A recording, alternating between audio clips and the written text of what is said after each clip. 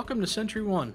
In this video, we will discuss what a snapshot is, as well as how you can schedule a snapshot to be taken within SentryOne document. A snapshot is a point-in-time view of the metadata for all of the selected items in your solution. The snapshot is needed prior to generating your documentation and lineage for your solution. SentryOne document allows you to schedule snapshots at the time of your choosing. This allows you to automate the snapshot process. Performing these automated snapshots affords you with the opportunity to continue updating your documentation at consistent intervals. We can begin setting up our automated snapshots by opening up the solutions dashboard and clicking on the Configure Snapshot button for the desired solution. This will cause the snapshot configuration window to pop up. Next, we want to navigate to the installation directory for the Sentry One Document Remote Agent. While holding the Shift key, right-click anywhere within the window and select Open PowerShell window here.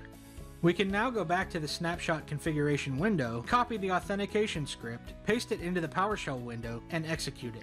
Once the authentication has completed, we can open the Windows Task Scheduler, select Action, and create Basic Task to launch the wizard. Here we will enter the name and description for our automated snapshot task and click the Next button to proceed.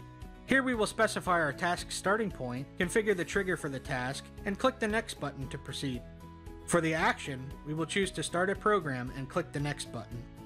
Here we will select the Browse button and open the Remote Agent installation directory.